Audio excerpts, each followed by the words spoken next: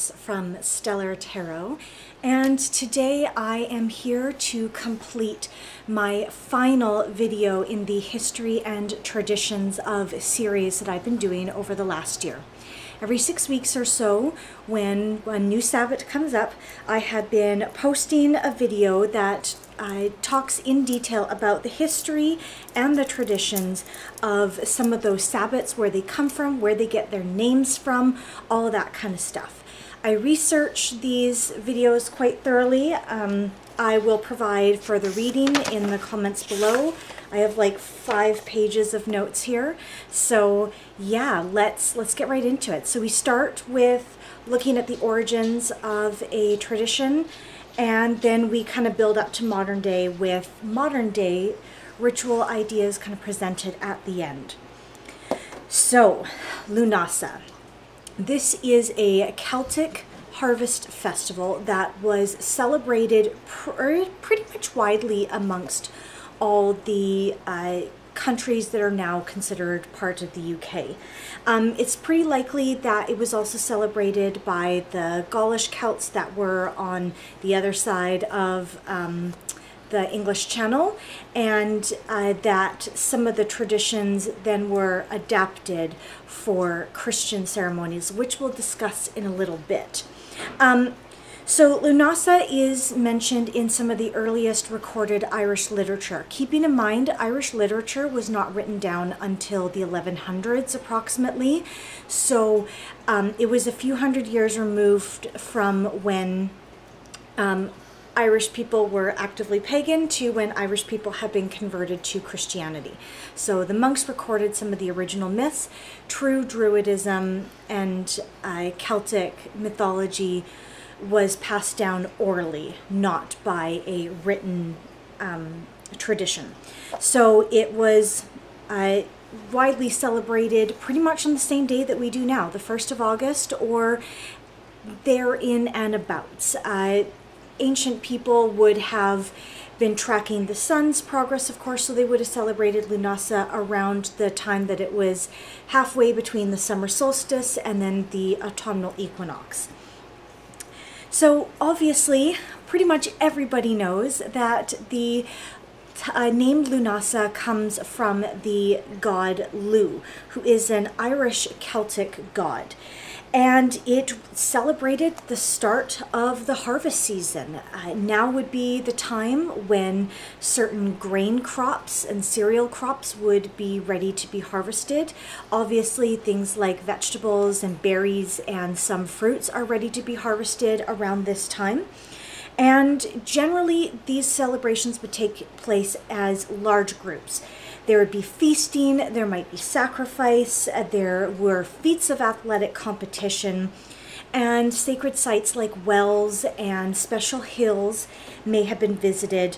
Maybe offerings of food would be left, often either uh, in honor of the god Lugh um, or deities associated with him, or they would actually be left there uh, sort of as a um, a prayer, like an offering to, to get good harvest.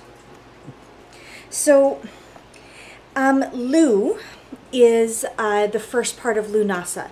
The Nasa part in Gaelic, Irish Gaelic, meant an assembly. So basically, it was an assembly to commemorate and celebrate the god Lugh. It was all about this guy.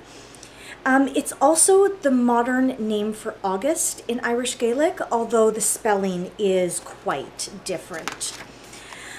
Um, another name for Lughnasadh is Lammas, which is an Anglo-Saxon Saxon word, and it breaks down into Loaf Mass Day. It was celebrated on the same day and probably got its origins from Lughnasadh. And Christians would take um, flour that they had uh, made from the first cereal grain harvest of the year, so the first wheat crop. They would grind it down into flour and then bake a loaf of bread and um, bring it to church as an offering. Um, there is some possibility that this tradition started as a Lughnasadh tradition of um, like honoring the first crop that came, making something of it, and then breaking it up into pieces and placing it in certain areas to bring like good luck or good fortune or even as a protective measure. It's unsure whether it was kind of like an amulet or good luck charm or whether it was for protective means. Um, but Loafmas Day would um, be celebrated on that day, and it was also the feast day of a certain saint. So over time, uh, Lammas changed to um, a bit of a different uh, celebration, although there are some aspects of Christian Lammas that do get practice in certain areas and churches in various parts of the world. So, where do we get the origin of the celebration of Lughnasadh? Well, according to the Irish Celts, Lughnasadh began as a funerary feast to commemorate Lugh's foster mother, uh, Tailtiu. Sorry, hair in my mouth, and I'm butchering the Gaelic. Tailtiu. Um, she was a member of the Firbolg race, which was also um, a race within mythology that was uh, defeated and then eventually came to work together in harmony with the Tuatha De Danann, and that is told in the myth of Balor or something like that. I have to remind myself. Anyways, uh, Tailtiu was Firbolg. She adopted Lugh as her foster son. And she actually ended up giving her life because she died clearing the plains of Ireland so that the people would have places to plant their crops, grow their food so that they could thrive and survive. It's thought that maybe um, she may have also been considered a sort of earth goddess, sort of like Demeter Persephone combined, dying at uh, Lammas as a um, signifier that she was, you know, making the sacrifice for herself and then reborn again in the spring. But it's not 100% clear. Again, Irish mythology was not written down for hundreds of years until like after they were converted. Um, so they started, so Lughnasadh started as a funerary feast to um, honor Tailtiu, and eventually these evolved into athletic games and competitions called the Tellian, Teltian, Teltlian Games. I'm sorry links will be down below so you can see spellings for yourself. Um, these athletic games could include any number of different activities and exercises and all of that kind of stuff. And there may also have just been um, even like showmanship of certain skills that some people had. And it's also thought that this was a time when you know, large groups were getting together for the Teltlian Games that uh, they may have been sort of like modern Olympic Games, that it was seen as a time of um, armistice. There'd be no warring, there'd be no uh, fighting between different tribes or people who have issues to settle. This was to come together as a people and um, honor the Harvest Festival together and not uh, separate. Because these were large groups as well, there's a lot of evidence to suggest that this was a really market heavy time as well. You literally had large groups of people, like maybe villages or settlements, coming together to celebrate, probably within their own, what we now consider the modern Irish provinces. And uh, so, yeah, it would be a good time to catch up with people who you hadn't seen since possibly even last Lughnasadh. It was a good time to get some trading done. And there was also a traditional time of pledging yourself to somebody in a trial marriage. Now, what a trial marriage was is what we kind of consider sort of a common law type of situation today. Move in with somebody, try out your marriage for a year and see how it goes. If at the end of the year you come to it and you're like, nope, this isn't going to work, the marriage could actually be dissolved without any consequences. So we are talking about pre Christian times here as well, because obviously, once the Christians took over, trial marriages came to an end, at least the legal ones. Um, and yeah, they're just basically, they were you know, it was a festival, it was feasting. You'd have various different activities going on. And you can probably imagine how much of a hub of activity it would be for some of these ancient peoples. Um, versions of Lughnasadh were celebrated maybe slightly differently within like uh, Britain and Wales and Scotland, the Isle of Man, but they pretty much all resemble and have similar names or names that are basically translated to the same types of meanings for Lughnasadh in their own respective languages like Welsh, Anglo-Saxon, and Scottish Gaelic. Um, there was also quite possibly solemn ritual going on during this as well. It wouldn't all have been celebration and drinking and feasting and all of that good stuff. The fact is, they were coming together to celebrate that it was the beginning of the harvest season. And so, some solemn ritual would be done where they would do a ritual cutting of some of the first grains, likely corn and wheat. Also, barley would possibly be in there. Um, and they would sometimes use uh, some of these first cut grains as items for protection to sprinkle around to different areas of the settlements, protect the future crops from, uh, you know, withering and dying or spoiling over the winter. And it was also customary, specifically in Ireland, not sure about the other uh, UK countries at the time, it was usually custom for a bull to be sacrificed. And then he would, after that was sacrificed, obviously all of it would be utilized by the people. We need to remember this that an animal sacrifice would not be like they just left it to die and rot out in the field. A sacrifice would be made, and it would be the giving of life. That would be what the god or the goddess would receive the people could use the items that you know they can collect from sacrificing an animal like the meat the different uh, fluids in there the bones the hide everything was put to use. There is some evidence to suggest that some of the that the hide from this sacrificial bowl was maybe used in some sort of really um, important uh, like object made into it after, perhaps like a, a drum for the local druids or other things like that. Um, but we're not 100% sure, again, because the Celts wrote nothing down.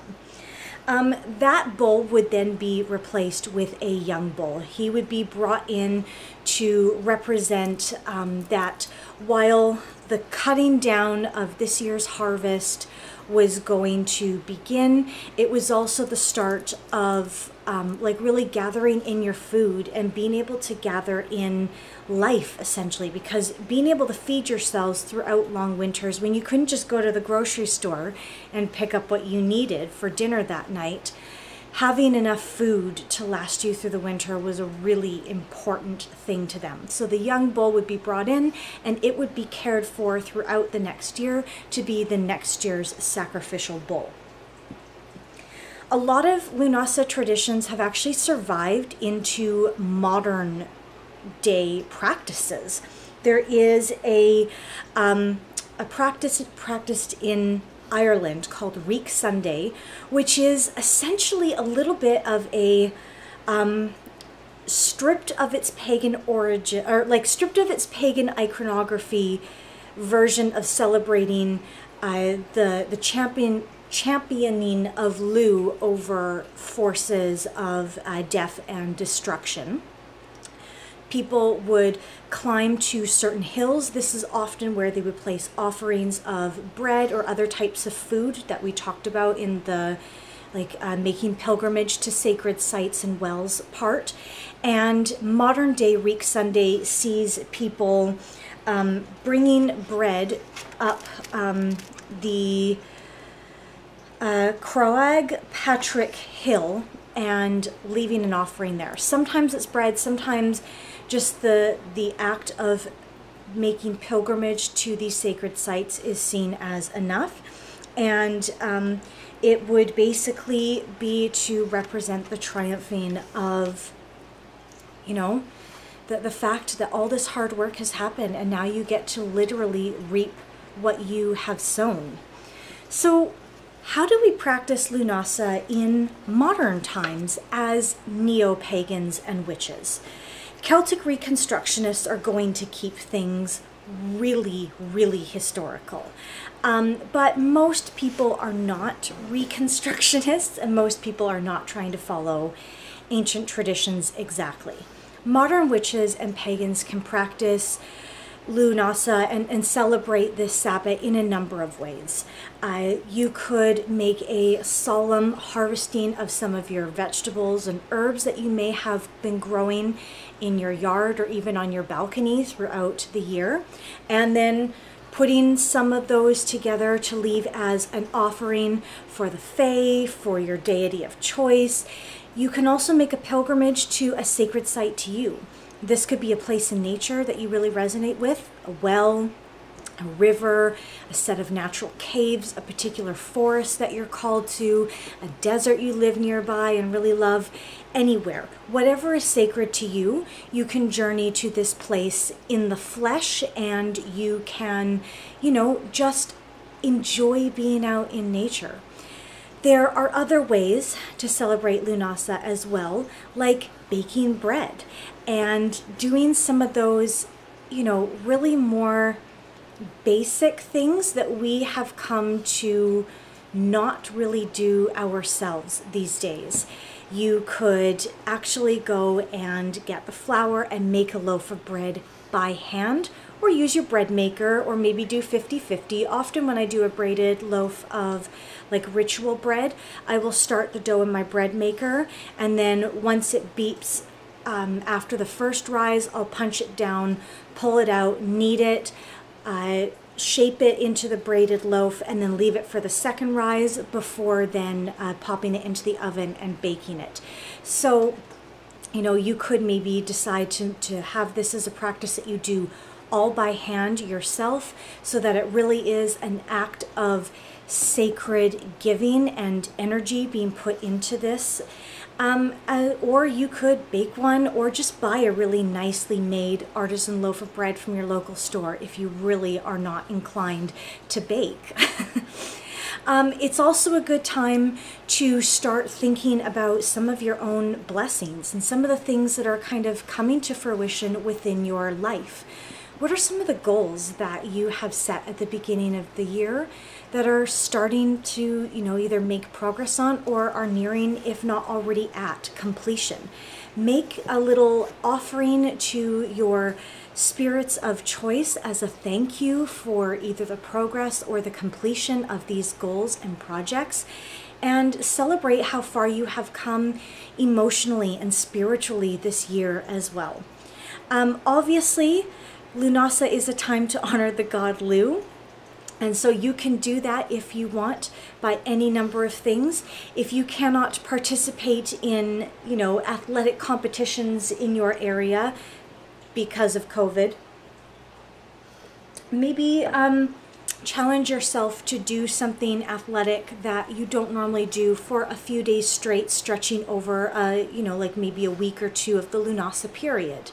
And you know, really challenging yourself to maybe get in slightly better physical shape, or maybe you challenge yourself to cut out processed foods and try to eat more whole foods to really celebrate the harvesting of all of these different fruits, vegetables, and grains that are coming into our life. Um, barley was also a really important grain that would be harvested around the time of Lughnasadh. So this would have been a traditional time to um, start brewing certain beers or whiskeys in order to have enough to last through the winter. You have to remember that this is during a time when it could not always be trusted that you could drink the water. So making beer was actually a really vital part of your everyday farm settlement and farmstead that was primarily what you drank, um, and it wasn't usually water. And that's just because by the time you have finished the brewing process, you have killed off whatever bacteria were in that water that could have made you sick, and the beer that they would have brewed would have been very low uh, alcohol con- uh, content. It was not left to ferment for very long, and the yeasts that they use are not the modern brewer's yeast now. You'd actually have to harvest the yeast from out in the wild. So, yeah, it's it was quite the process for getting um, the beer together. So with that fresh batch of barley coming in and wheat coming in for certain types of beers, uh, it would be tradition to start another batch in the brewery and to get it going to last through to the winter and the spring and all of that good stuff. Um, as an ode to that, I am drinking my husband's home brew today during this video. This is an imperial stout, so not exactly an Irish stout, but it's it's what I have, okay?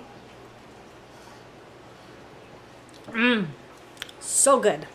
I love me a dark beer.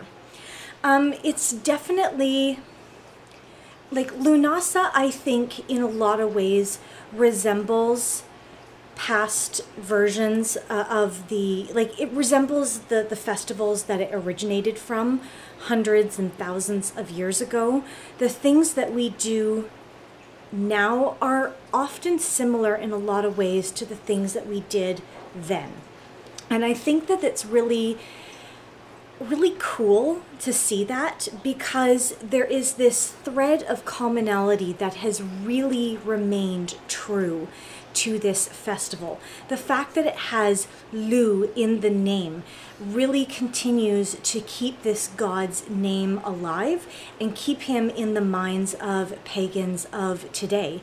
And I think it's a really important thing to kind of honor where we were as um, a, a, race, a human race, and where we are now, how far we've come, how things have changed, but really how things have stayed the same, the things that are still key to our lived experience of being a human being. I really invite you this Lughnasadh, particularly since so many of us are still in quarantine and cannot get together in large groups find ways to celebrate Lughnasadh that will help you connect to the thread of your humanity, will remind you of where we have come from, will honor our ancestors and the hard work that they have done, and will also, you know, continue to strengthen us as a community, as a group of individuals going forward. Uh, this year I am going to bake a loaf of bread. I'm going to do the first rise in my bread maker and then do the rest by hand. And I am also going to purchase some local corn.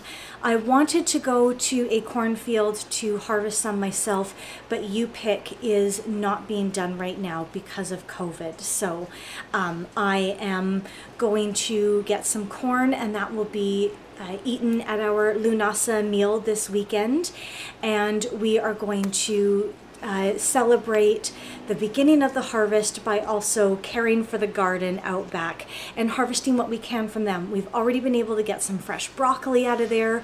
Uh, sugar snap peas are coming off the vines now. Um, we've had our first cucumber.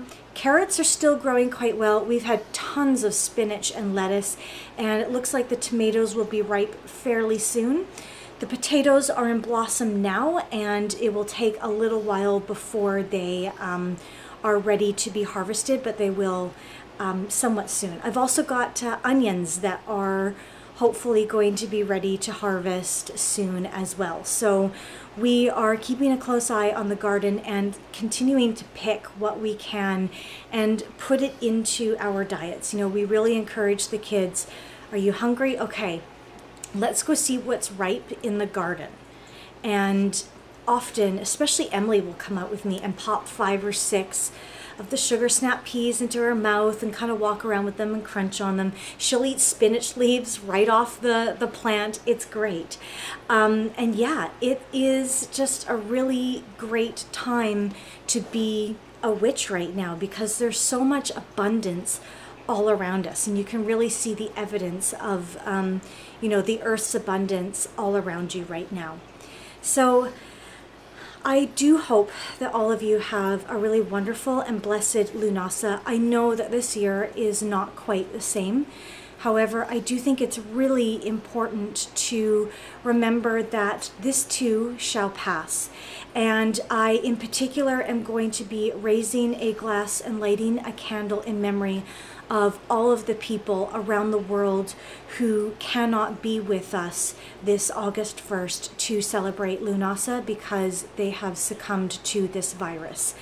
And I'll kind of be putting my hopes in there that um, the states is really going to get things under control because it's just it's friggin' crazy and um, I know so many of you who watch are from the states and I know that it's really a worrying time to be alive because so much is shut down and so many people are fighting against security protocols and making it difficult to uh, you know for people to feel safe when they are out in public so um, I really send my love and my blessings your way, and I hope that you guys will stay strong and stay safe. Please wash your hands frequently, and please wear a mask when you are out in public if you can, and you really, you really should. You really should. It will really help to keep the spread of the virus down. Thank you so much, everybody, for watching today. And until next time, be wise, be brave, and be magical. Bye.